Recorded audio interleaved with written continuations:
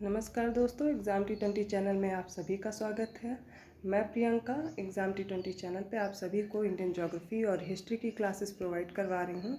जो भी बच्चे यूपी पीसीएस या आर ओ आर ओ जैसे एग्ज़ाम की प्रिपरेशन कर रहे हैं या और भी किसी एग्ज़ाम की प्रिपरेशन कर रहे हैं तो वो इस वीडियो से हेल्प ले सकते हैं, इस चैनल से जुड़ करके अपनी तैयारी कर सकते हैं।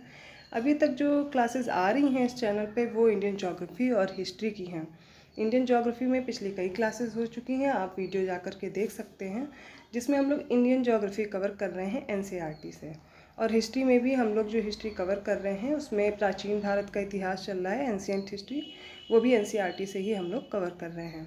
तो अगर आपको वीडियो अच्छे लग रहे हैं तो प्लीज़ और लोगों तक भी शेयर करें और अच्छे से प्रिपरेशन करते रहें।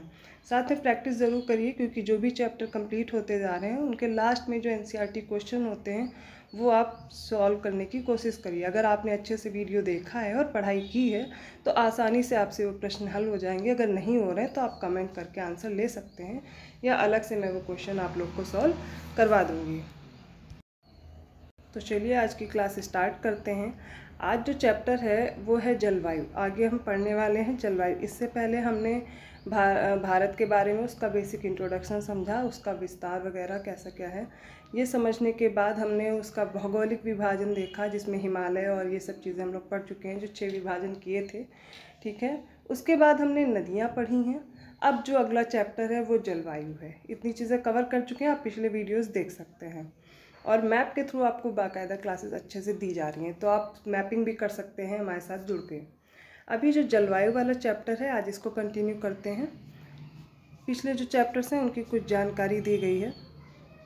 पिछले दो अध्यायों में आप हमारे देश की स्थलाकृतियों एवं वाह के बारे में पढ़ चुके हैं। किसी क्षेत्र के प्राकृतिक पर्यावरण को समझने के लिए तीन मूल तत्वों में से दो तत्व यही हैं। देखिए, अगर आप हमारे साथ पढ़ रहे हैं तो शॉर्ट नोट्स मैंने पहले भी बोला है, आप सभी लोग बनाते चलिए। तो अभी क्या बोला गया है? जो स्थलाकृति है और जो अपवाह है, इनके बारे में हम पढ़ चुके हैं। और प्राकृतिक पर्यावरण को समझने के लिए तीन मूल तत्व में से दो तत्व तो यही हैं।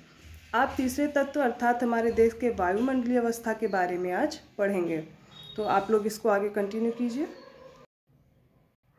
इसमें कुछ प्रश्न दिए गए हैं कि हम दिसंबर में ऊनी वस्त्र क्यों पहनते हैं या फिर मई के महीने में गर्म क्यों होता है? हमारे लिए इतना जून, जुलाई वाली गर्मी में उसमें वर्षा भी हो रही होती है।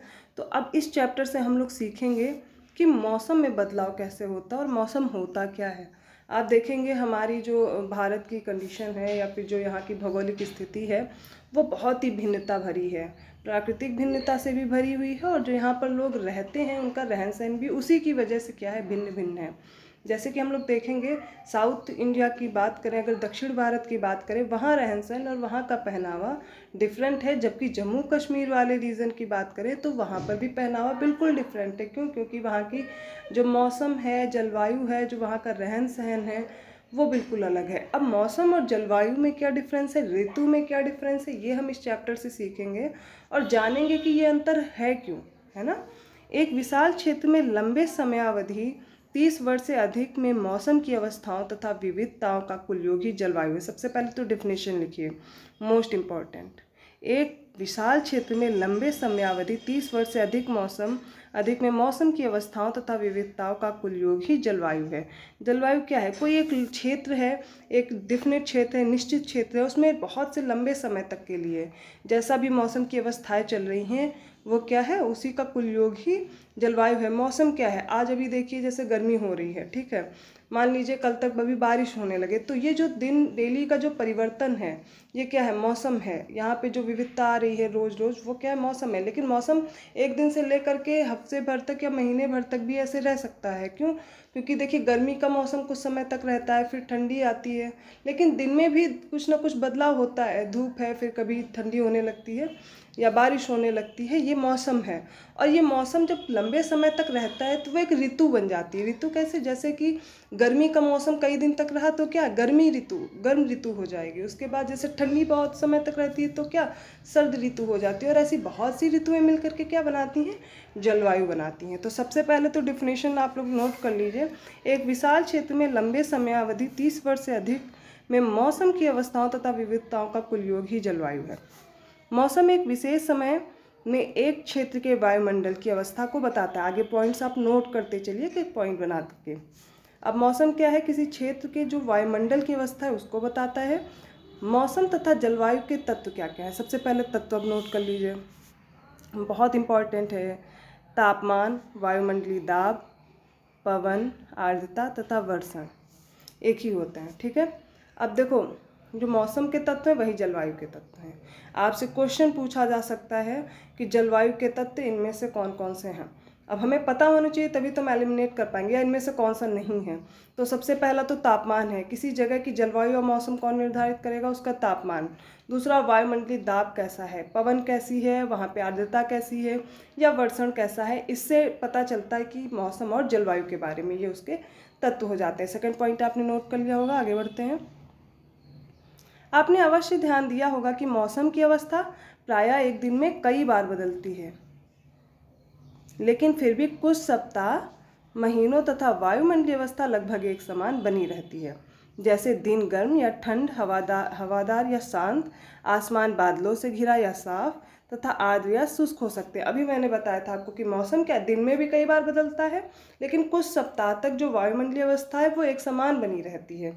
जैसे दिन गर्म होंगे, या तो फिर ठंडे होंगे। गर्म हैं कई दिन तक गर्म दिन रहते हैं तो कैसा ऋतु हो जाएगी वो गर्मी वाली ऋतु हो जाएगी। ऐसे ही ठंडा होगा या हवादार होगा मौसम, ये डिफिनेट रहेगा वायुमंडलीय अवस्था पर। महीनों के औसत वायुमंडलीय अवस्था के आधार पर वर्ष को ग्रीष्म, शीत या वर्षा ऋतुओं में विभाजन किया जाता है। नेक्स्ट पॉइंट नोट करिए ये अगला। महीनों के औसत वायुमंडलीय अवस्था के आधार पर वर्ष को वर्ष को ग्रीष्म या शीत ऋतु या वर्षा में, ऋतुओं में विभाजित किया जा सकता है। तो हमने सबसे पहले क्या देखा? कोई मौसम है? ठीक है। ये मान लीजिए मौसम है। अब मौसम बहुत समय तक रहेगा तो क्या बनेगी? ऋतु बनेगा। अब बहुत सारी ऋतुएँ बन मिल करके क्या बना रही हैं? मतलब बहुत सारी ऋतुएँ जब होंगी तो वैसी अवस्था क्या हो जाएगी? वो कहीं किसी भी वायुमंडलीय जो अवस्था सेम रहेगी तो किसी भी क्षेत्र की जलवायु को निर्धारित करेगी। समझ आया? अब आगे पढ़ते हैं। विश्व के, विश्व को अनेक जलवायु प्रदेशों में बांटा जाता है, क्योंकि विश्व में अलग अलग भौगोलिक अवस्थाएँ हैं अलग अलग मौसम है अलग अलग वहाँ पे क्या है? भिन्नता है। वहाँ पर हम देखते हैं कि क्षेत्र अलग है, उसका उच्चावच अलग है, वहाँ का अक्षांश अलग है। कई चीज़ों पे निर्भर करता है भी कारक भी हम आगे पढ़ेंगे। ओके? क्या आप जानते हैं कि भारत की जलवायु कैसी है? तो सभी लोग को पता है भारत की जलवायु कैसी है, मानसूनी है। पर मानसूनी होने के बावजूद भी बहुत विविधता है, वो भी अभी हम आगे पढ़ेंगे। आगे समझते हैं। अब देखिए, मानसून की डिफिनेशन दी गई है, बहुत अच्छे से आप नोट करिए। मानसून शब्द की व्युत्पत्ति अरबी शब्द मौसम से हुई है, जिसका शाब्दिक अर्थ है मौसम। मानसून का अर्थ एक वर्ष के दौरान वायु की दिशा में ऋतु के अनुसार परिवर्तन है। तो मानसून क्या है? अरबी शब्द मौसम से उत्पन्न हुआ है और इसका अर्थ क्या है? एक वर्ष के दौरान वायु की दिशा में ऋतु के अनुसार परिवर्तन। तो अब समझेंगे, सबसे पहले मौसम मौसम क्या है? दिन या सप्ताह में होने वाला जो वायुमंडलीय अवस्थाएँ हैं, जो एक समान रहती हैं तो क्या बनाएँगे? कोई भी ऋतु बनाएँगे। अब ऋतुओं में भी जो परिवर्तन हो रहा है लगभग एक साल में, उसको क्या बोल रहे हैं? वो मानसून है। तो भारत का जो मौसम है, जलवायु है, वो कैसी? मानसूनी है। तो यही मानसून क्या है? जलवायु है हमारी, ठीक है? तो आगे पॉइंट नोट करिए। भारत की जलवायु को मानसूनी जलवायु कहा जाता है। एशिया में इस प्रकार की जलवायु मुख्यतः दक्षिण तथा दक्षिण पूर्व में पाई जाती है। देखिए, प्रश्न पूछा जा सकता है कि किस जगह पे कैसी जलवायु है। मान लीजिए, एशिया आपको दे दिया गया, एशिया की जलवायु किस प्रकार की, मुख्यतः किस प्रकार की है? तो दक्षिण एशिया और दक्षिण पूर्व जो एशिया है, वहाँ पर कैसी जलवायु है? मानसूनी जलवायु पाई जाती है है ना? सामान्य प्रतिरूप में लगभग एक रूपता होते हुए भी देश की जलवायु अवस्था में स्पष्ट प्रादेशिक भिन्नताएँ हैं। आइए हम दो महत्वपूर्ण तत्व, तापमान एवं वर्षण को लेकर देखें कि एक स्थान से दूसरे स्थान पर तथा एक मौसम से दूसरे मौसम में इनमें किस प्रकार की भिन्नता है। देखिए, सबसे बढ़िया उदाहरण अगर लेना है तो भारत का ही लेते हैं। उससे अच्छा उदाहरण भूगोल को समझने के लिए और कोई हो ही नहीं सकता, क्योंकि इतनी भिन्नता है और इसी भिन्नता में हम आसानी से भूगोल सीख सकते हैं। कैसे समझेंगे? जैसे कि हमारे यहाँ भारत में हम देखते हैं प्रादेशिक भिन्नता है। है तो मानसूनी जलवायु, है ना? पर उसके बावजूद भी भिन्नता है, कैसा है? अब इसी को आगे एक्सप्लेन किया गया उदाहरण से, वही हम लोग पढ़ के समझेंगे। गर्मियों में राजस्थान के मरुस्थल में कुछ स्थानों का तापमान 50 डिग्री सेल्सियस तक पहुँच जाता है, जबकि जम्मू कश्मीर के पहलगाम में तापमान लगभग 20 डिग्री सेंटीग्रेड रहता है। सर्दी की रात में जम्मू कश्मीर में द्रास का तापमान माइनस पैंतालीस डिग्री सेंटीग्रेड तक हो सकता है, जबकि तिरुवनंतपुरम में या 22 डिग्री सेल्सियस तक हो सकता है। अब समझते कैसे। तो इस उदाहरण से हमें क्या पता चला कि राजस्थान में जो मरुस्थल वाला क्षेत्र है, वो तेज़ी से गर्म होगा और वहाँ तापमान क्या पचास डिग्री तक पहुँच जा रहा है ना? और जबकि जम्मू कश्मीर, ठीक, भारत का ही एक दूसरा क्षेत्र है, जम्मू कश्मीर। वहाँ पर तापमान क्या है? काफ़ी कम उससे बीस डिग्री सेंटीग्रेड तक रहता है। तो मानसूनी जलवायु है, लेकिन दोनों जगह क्या है? भिन्नता मिल रही है। और सर्दी की रात में अगर जम्मू कश्मीर के द्रास वाले क्षेत्र की बात करें तो क्या होगा? तापमान यहाँ माइनस पैंतालीस डिग्री सेंटीग्रेड तक हो सकता है। लेकिन समुद्र तट वाले इलाका देखेंगे तो वहाँ पर बाईस डिग्री सेंटीग्रेड तक हो सकता है। अब जो समुद्र तट के जो क्षेत्र मिलेंगे, वहाँ पर आपको जलवायु या मौसम बिल्कुल भिन्न मिलेगा। वहाँ पर मानसून कैसा होगा? वहाँ पर थोड़ा आर्द्र रहेगा। वहाँ पर टेम्परेचर आप देख रहे हैं, बाईस डिग्री सेंटीग्रेड तक है, जबकि ठंडी के पास का। क्यों? क्योंकि समुद्र क्या है, जब गर्म हो जाते हैं, दिन में मान लीजिए गर्म हो रहे हैं सूर्य की रोशनी में, रात में वो क्या है, जब तक गर्म हो, वो गर्म हो चुके हैं और ठंडा होने में अब उन्हें वक्त लगेगा। इस वजह से उसके पास का जो इलाका है, वो ज़्यादा देर तक गर्म रहता है। वहाँ पर ऐसा बहुत ठंडी या बहुत गर्मी जैसा मौसम नहीं होता। लेकिन अलग अलग क्षेत्र में है तो अलग अलग जम्मू कश्मीर में ऐसा नहीं है। वहाँ पर क्या है पहाड़ी क्षेत्र है, हिमालय है उसके पास में। और वो किस जलवायु क्षेत्र में आता है? शीत जलवायु क्षेत्र में। वहाँ पर क्या है कि ऊपर पहाड़ियाँ जब ऊपर ऊंचाई पे हम बढ़ते हैं तो तापमान घटता जाता है। इसलिए वहाँ का तापमान कैसा है? माइनस पैंतालीस डिग्री सेंटीग्रेड तक है। अब मरुस्थल में क्या है? मरुस्थल ऊर्जा का अच्छे से अवशोषण कर लेते हैं तो एकदम से तापमान क्या पचास डिग्री सेंटीग्रेड तक पहुँच जाता है गर्मियों के टाइम पे। लेकिन जम्मू कश्मीर में देखेंगे तापमान क्या है? गर्मियों में भी बीस डिग्री सेंटीग्रेड तक है।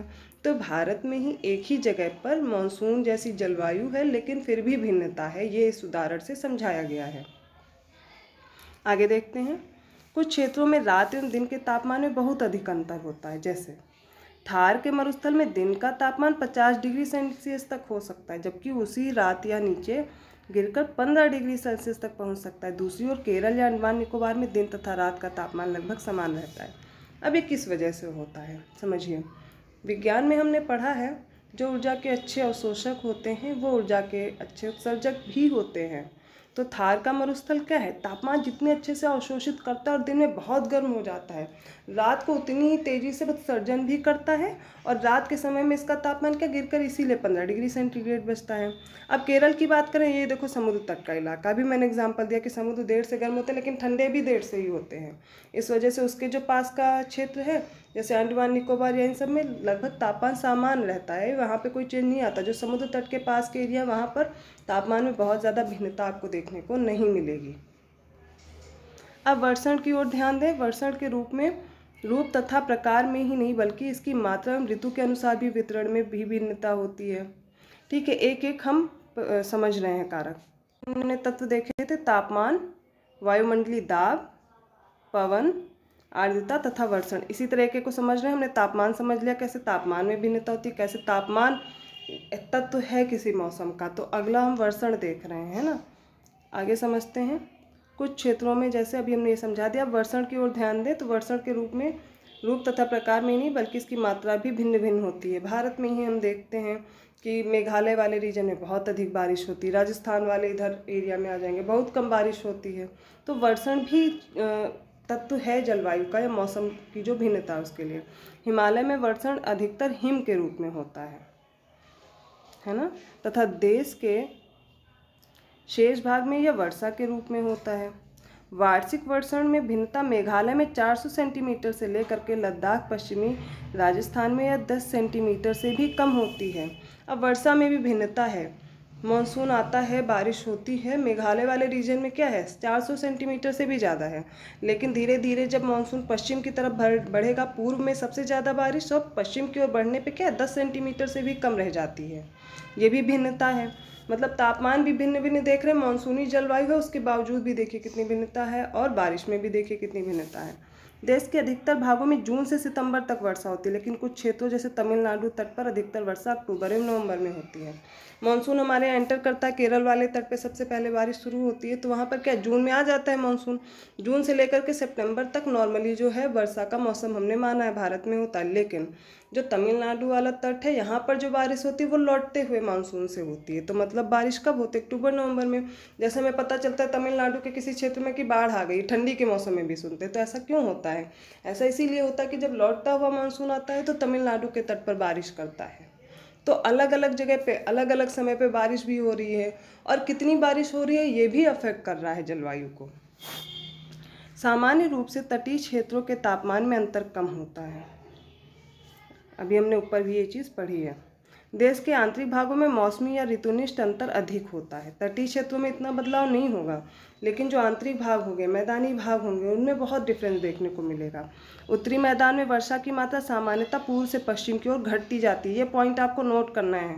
भारत में क्या है? उत्तरी मैदान में वर्षा की मात्रा सामान्यतः पूर्व से पश्चिम की ओर बढ़ेंगे तो घटेगी। मेघालय में सबसे ज़्यादा बारिश। लौट के आएँगे राजस्थान तक, तरफ़ बढ़ेंगे पश्चिम की तरफ़ तो क्या है? दस सेंटीमीटर से भी कम है। ये भिन्नताएँ लोगों के जीवन में भी विविधता लाती है, जो उनके भोजन, वस्तु घरों के प्रकार में भी दिखती हैं। कैसे पता चलेगा? देखिए, जो नॉर्थ ईस्ट वाला रीजन है, वहाँ पे बारिश ज़्यादा हो रही है और यहाँ पे राजस्थान साइड कम हो रही है। तो क्या है? यहाँ पे खाने में भी भिन्नता है, रहन सहन में भी भिन्नता है। कैसे है? जैसे वहाँ का खान पान क्या होगा? चावल वगैरह ये सब ज़्यादा खाते हैं। क्यों? क्योंकि पानी की आवश्यकता ज़्यादा होती है ऐसी कृषि के लिए। चावल वहाँ ज़्यादा उपजता है तो वहाँ के लोग चावल ज़्यादा खाते हैं। लेकिन आगे बढ़ेंगे, जैसे मैदानी क्षेत्र है, वहाँ पर गेहूँ, जौ बाकी हर चीज़ें उगाई जाती तो यहाँ पर खान पान अलग होगा। फिर उसके आगे बढ़ेंगे, राजस्थान वगैरह पर, वहाँ पर देखेंगे मोटे अनाज और ये सब चीज़ें ज़्यादा होती हैं। तो अलग अलग क्षेत्र में खाने का भी अलग अलग है, भोजन अलग अलग मिलेगा। वस्त्र क्या है? जहाँ पे बारिश हो रही उनके वस्त्र अलग होंगे, ठंडा मौसम है, अलग होंगे। और गर्मी, जैसे उत्तर भारत में गर्मी का मौसम है तो वहाँ पर क्या सूती वस्त्र या हल्के वस्त्र ज़्यादा पहने जाएँगे? तो हर जगह का वस्त्र भी अलग होगा और घर की बनावट भी उसी हिसाब से होगी। जैसे नॉर्थ ईस्ट रीजन में बारिश बहुत ज़्यादा हो रही तो वहाँ के घर की बनावट वैसी होगी। जिन क्षेत्रों में बारिश कम हो रही है, गर्मी ज़्यादा हो रही, वहाँ पर क्या है? अलग तरह के घर बने होंगे तो ये विविधता पूरे भारत में देखने को मिलती है। इस बॉक्स में जो चीज़ें दी गई हैं, उससे हम पता लगा सकते हैं कि क्या क्या भिन्नता देखने को मिलती है। अब जलवायु भी नियंत्रण के बारे में पढ़ते हैं। किसी भी क्षेत्र की जलवायु को नियंत्रित करने वाले छह प्रमुख कारक हैं। इन कारक को ही हमें पढ़ना है। मोस्ट इंपॉर्टेंट है। आपसे प्रश्न पूछा जा सकता है कि जलवायु के कौन कौन से कारक हैं? किसी भी क्षेत्र को नियंत्रित करने के लिए कौन कौन से कारक हैं जलवायु के लिए? तो अक्षांश, तुंगता वायुदाब एवं पवन तंत्र, समुद्र से दूरी महासागरीय धाराएँ तथा उच्चावच पहला क्या है अक्षांश? लैटीट्यूड दूसरा क्या है? तुंगता अल्टीट्यूड वायुदाब एवं पवन तंत्र। यहाँ पे हम लोग प्रेशर बेल्ट और जो विंड्स चल रही हैं, उनके बारे में पढ़ेंगे। अब कितनी डिस्टेंस है समुद्र से? उसमें डिस्टेंस हम यहाँ पर देखेंगे, चौथा कारक। पांचवा जो ओशन करंट चलती हैं, महासागरीय धाराएँ, और छठा क्या है? उच्चावच। किसी भी क्षेत्र की कैसी भिन्नता है, कैसी बनावट है। यही सारे कारक हमें आगे पढ़ने और एक एक करके आप पॉइंट नोट करते चलिए, उनके बारे में जानकारी लिखते चलिए। पृथ्वी की गोलाई के कारण इसे प्राप्त सौर ऊर्जा की मात्रा अक्षांशों के अनुसार अलग अलग होती है। इसके परिणाम स्वरूप विश्वत वृत्त से ध्रुवों की ओर सामान्यता घटता है। जब कोई व्यक्ति पृथ्वी की सतह से ऊंचाई की ओर जाता है तो वायुमंडल की सघनता कम होती जाती तथा तापमान घट जाता है। इसलिए पहाड़ियाँ गर्मी के मौसम में भी ठंडी होती हैं। समझना है हमें अक्षांश के बारे में सबसे पहले। जैसे, ये पृथ्वी है, ठीक है? इस पर कुछ काल्पनिक रेखाएँ खींची गई हैं, जिन्हें हम क्या कहते हैं? जो क्षैतिज रेखाएँ, उन्हें हम अक्षांश रेखाएँ कहते हैं। तो साल भर इन अक्षांश रेखाओं पे समान तापमान नहीं मिलता है। सौर ऊर्जा अलग अलग समय पे अलग अलग अक्षांश पे अलग अलग मिलती है। जब हम सिक्स क्लास के एन पढ़ेंगे तो उसमें बहुत अच्छे से समझ पाएँगे। अभी हम सिंपल से समझने की कोशिश करते हैं कि जो अक्षांश हैं, इन पर अलग अलग सौर ऊर्जा हमें अलग अलग मौसम में प्राप्त होती है। क्यों? क्योंकि देखिए, ये जैसे सूर्य है, इसके चारों ओर पृथ्वी चक्कर लगाती है। तो अलग अलग जगह पे सूर्य का प्रकाश क्या होगा? कभी ऐसे पड़ेगा, कभी ऐसे पड़ेगा, कभी यूँ। कभी यूँ तो अलग अलग अक्षांशों पे तापमान क्या है? अलग अलग जाएगा, है ना? तो इसी तरह क्या है जो ये पृथ्वी के अक्षांश हैं। यहाँ पर बात करते हैं। तो ये जो भूमध्य सागरी वाला रीजन है, जैसे कुछ उष्ण हो गया उसके ऊपर बढ़ेंगे तो शीतोष्ण वाला हो गया, शीत वाला हो गया, पोलर रीजन अलग अलग जगह पे क्या है? तापमान ऊपर जाने पे घटता जाता है। है ना ज़ीरो डिग्री से इधर बढ़ते जाएँगे तो क्या होगा? घटता जाएगा, जैसे ही ऊंचाई पे बढ़ेंगे। अब यहाँ पर दो कारक है। पहला तो अक्षांश, दूसरा है ऊंचाई। अक्षांश क्या? लैटिट्यूड अलग अलग लैटिट्यूड पे अलग अलग सौर ऊर्जा मिलती है, इसलिए क्या होगा?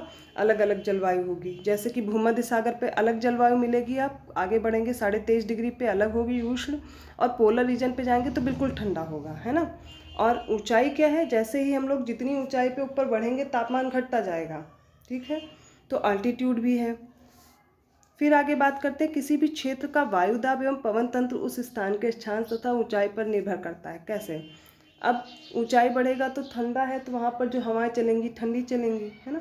और गर्म वाले क्षेत्र में जो वायुदाब होगा, जो प्रेशर होगा, देखिए हाई टेम्परेचर होगा तो प्रेशर क्या होगा? कम होगा। ठीक है, तापमान बढ़ेगा तो दाब क्या होगा? कम होगा। तापमान घटेगा जहाँ पर, वहाँ पर वायुदाब तेज ज़्यादा होगा। पवन कैसी चलेंगी? ठंडे जगह पे पोलर रीजन पे क्या चलेंगी? पोलर विंड्स चलेंगी, ठीक है?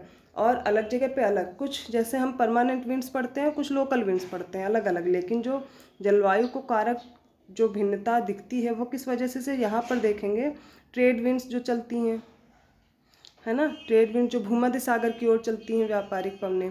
फिर उसके बाद हम ऊपर बढ़ेंगे तो क्या चलती हैं? वेस्टर्न लीज चलती हैं, पछुआ पवने।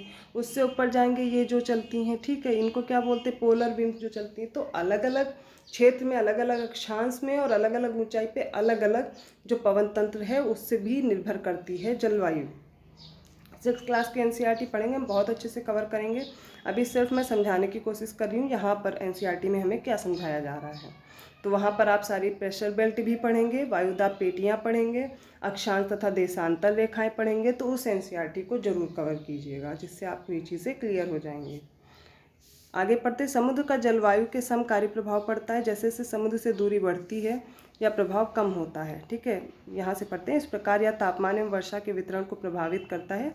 समुद्र का जलवायु पर समकारी प्रभाव पड़ता है, जैसे समुद्र से दूरी बढ़ती है, प्रभाव कम होता है। समुद्र के पास के इलाकों में ज़्यादा भिन्नता नहीं पाई जाती, जब इनसे दूरी बढ़ती है तो वहाँ पर भिन्नता आपको देखने को मिलेगी। आगे पढ़ते हैं, लोग विषम मौसमी अवस्थाओं को महसूस करते हैं, जब क्या है, समुद्र से दूर जाएँगे, ठीक है? वहाँ पे भिन्न भिन्न जलवायु होगी। इसे महाद्वीपीय अवस्था गर्मी में बहुत अधिक गर्म एवं सर्दी में बहुत अधिक ठंड कहते हैं।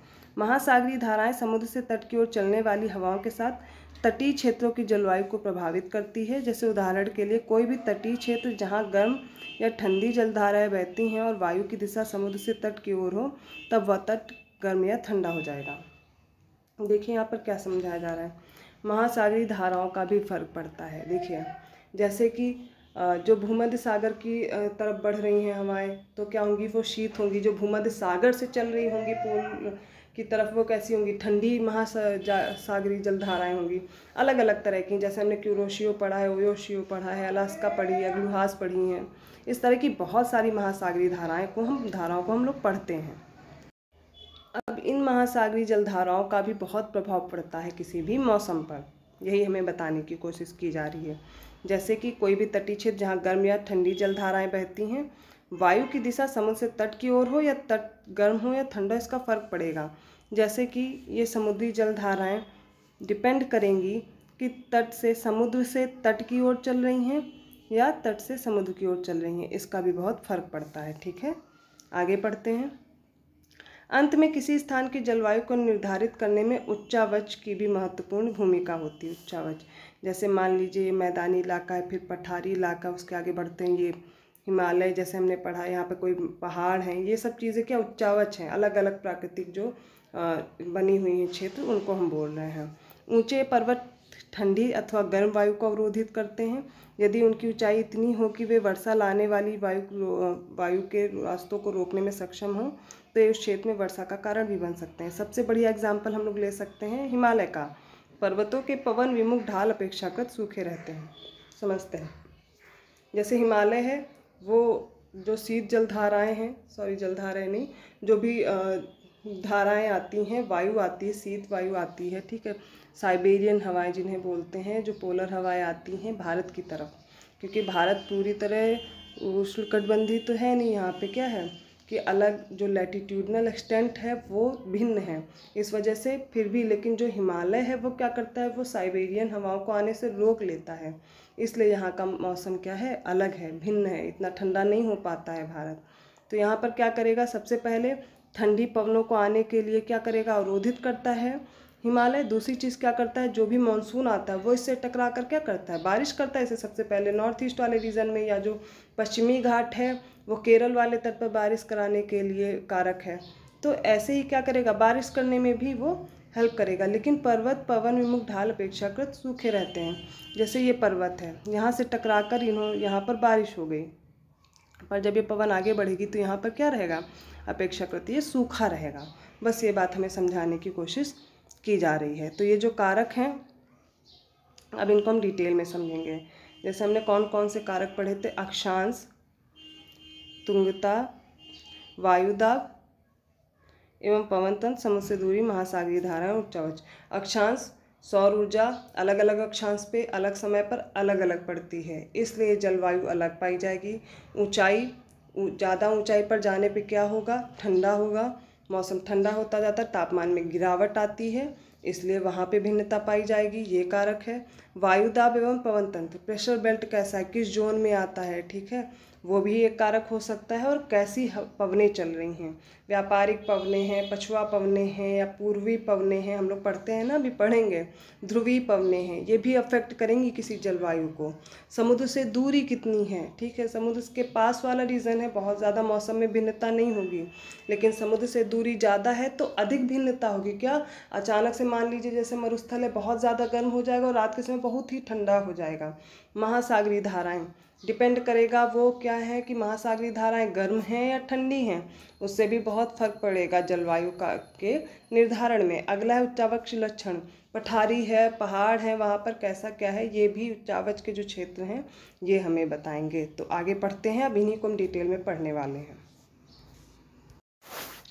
जैसे भारत की जलवायु को सबसे पहले प्रभावित करने वाला पहला कारक कौन सा है? अक्षांश। कर्क व्रत देश के मध्य भाग पश्चिम में कक्ष के रन से लेकर के पूर्व में मिजोरम से होकर गुजरती है। देश का लगभग आधा भाग कर्क वृत्त के दक्षिण में स्थित है, जो उष्णकटिबंधीय क्षेत्र है। कर्क वृत्त के उत्तर में स्थित शेष भाग उपोष्ण कटिबंधी है।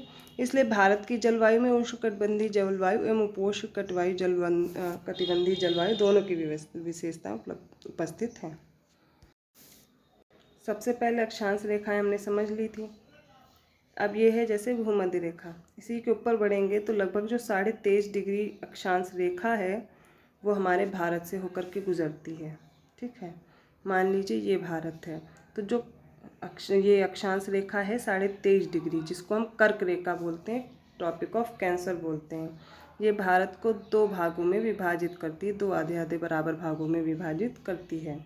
जिससे क्या है? जो कर्क रेखा गुजरती है। सबसे पहले आप लोग कमेंट करके बताइए कि कर्क रेखा कितने राज्यों से होकर के गुजरती है। बहुत बार ये प्रश्न पूछा गया और बहुत इंपॉर्टेंट है।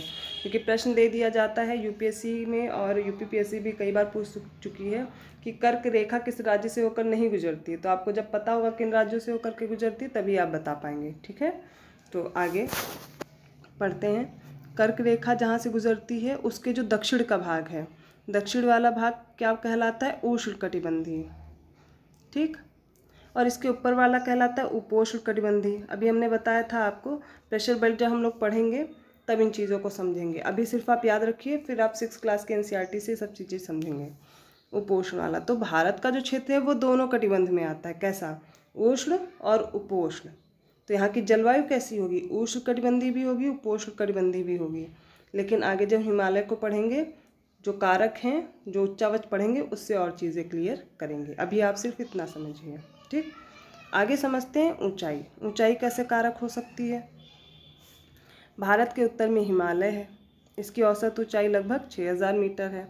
भारत का तटीय क्षेत्र भी विशाल है, जहाँ अधिकतम ऊंचाई लगभग तीस मीटर है। हिमालय तथा मध्य एशिया से आने वाली ठंड हवाओं को भारतीय उपमहाद्वीप में प्रवेश करने से रोकता है। इन्हीं पर्वतों के कारण इस क्षेत्र में मध्य एशिया की तुलना में ठंड कम पड़ती है। अब ऊंचाई समझते हैं, ऊंचाई कैसे कारक हो सकती है? ऊंचाई इसलिए कारक है जैसे हिमालय। हम जब भी ऊंचाई पे बढ़ते हैं तो तापमान कम होता जाता है है ना? तो तापमान ऊपर जाने पे घटता है और इसकी जो ऊंचाई है हिमालय की लगभग 6000 मीटर तक की है। तो ये क्या करता है? हिमालय उत्तर में फैला हुआ है, ऐसे। ठीक है, भारत के। तो जो उधर से साइबेरियन हवाएँ आती हैं, इनको रोक लेता है। इसीलिए यहाँ पर क्या है? ठंडी नहीं होती। यहाँ पर इतनी ठंडी नहीं होती जितनी होनी चाहिए, क्योंकि ठंडी हवाओं को आने से रोक लेता है। तो ऊंचाई भी कारक हो सकती है एक तरह से। जैसे भारत का आप उत्तर वाला, उत्तर मैदानी वाला क्षेत्र देखेंगे उत्तर में, और नीचे का जो प्रायद्वीपीय क्षेत्र देखेंगे, वहाँ पे क्या है? पठार ज़्यादा हैं। तो ये ऊंचाई पे जाने पे क्या होगा? तापमान घटेगा जहाँ जहाँ ऊंचाई पे जाएँगे। लेकिन जब नीचे आएँगे तो वहाँ पर क्या होगा? तापमान बढ़ेगा। पृथ्वी में देखिए, नीचे जाने पर जब आप जितना नीचे जाएँगे तो वहाँ पर क्या होगा? तापमान बढ़ेगा। यही रीज़न है ऊंचाई पे क्या है? मौसम अलग होता है या जलवायु भिन्न है। ये जलवायु को प्रभावित करेगा। ये भी एक कारक है। अगला कारक क्या है? वायुदाब एवं पवन। अभी तक जो हमने पढ़ा है, वो आप लोग बहुत अच्छे से रिवाइज कीजिए। क्लास से समझने की कोशिश कीजिए। हम अगली क्लास में ये समझेंगे वायुदाब और पवन के बारे में और जो भी कारक हैं जलवायु को जो प्रभावित करते हैं, उन सबको हम एक साथ समझेंगे और आगे भारत के मानसून के बारे में भी पढ़ेंगे क्योंकि हम लोग भारत भारत पढ़ रहे हैं, इंडियन जोग्राफी पढ़ रहे हैं, भारत का भूगोल पढ़ रहे हैं, इसलिए भारत पे ही फोकस करके हम बता रहे हैं। तो वर्ल्ड पे फोकस ना करके जो भी जलवायु के कारक हैं, वो अब किसके रिगार्डिंग समझ रहे हैं, वो हम भारत के अनुसार समझने की कोशिश कर रहे हैं। आगे क्लासेस में और भी अच्छे से मैं आपको क्लियर कर पाऊँगी। आई होप आप सभी को वीडियो बहुत अच्छा लगा। अगर आपको ज़रा सा भी वीडियो अच्छा लगा हो या आपको कुछ समझ आया हो या इससे आपको हेल्प मिली हो तो आप प्लीज़ वीडियो लाइक कीजिए और लोगों तक भी शेयर कीजिए और चैनल को सब्सक्राइब कर दीजिए। आप कोई भी सुझाव देना चाहते हैं, नीचे कमेंट करके बता सकते हैं। धन्यवाद।